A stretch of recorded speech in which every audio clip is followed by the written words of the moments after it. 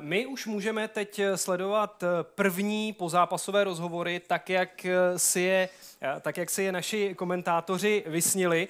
No a máme před kamerou Sporty TV Jiřího Karafiáta. Jiří, gratulujeme k vítězství a ono se nerodilo zlehka.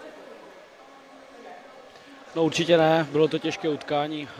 Řekl bych, že první třetina od nás byla tak 50 na 50, možná jsme, možná jsme byli chvilkama lepší, ale uh, potom, jak jsme dali góla, tak si myslím, že Chomutov nás přehrával úplně jednoznačně. My jsme nevěděli, kde první skočit, byli rychlejší na puku, uh, drželi se na puku, ale nějak jsme to systémově zvládli a, a bereme důležitý bod a vracíme se do Havířova.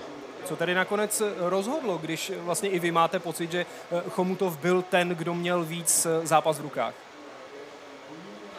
Nevím, podle mě, podle mě spíš ta obětavost od nás. Eh, hráli jsme obětavě, podle mě máme zase přes 20 zblokovaných střel, takže, takže si myslím, že, že to srdíčko dneska rozhodlo a chtěli jsme to víc.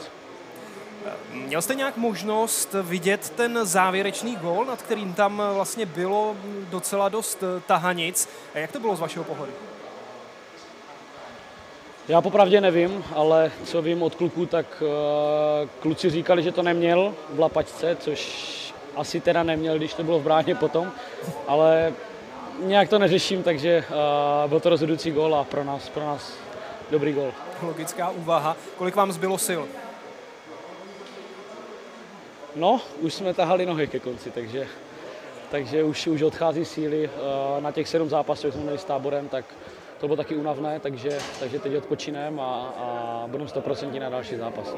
Díky moc, držíme uh, i s Honzou Novákem palce do dalšího utkání. Taky držím palce a hodně štěstí. Díky moc. Díky, mějte se.